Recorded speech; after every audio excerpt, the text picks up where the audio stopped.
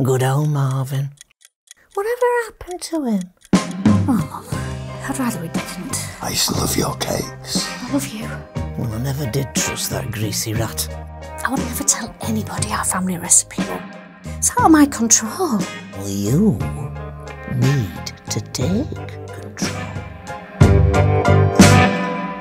I thought you'd fallen off the face of the earth. Just been busy. Baking.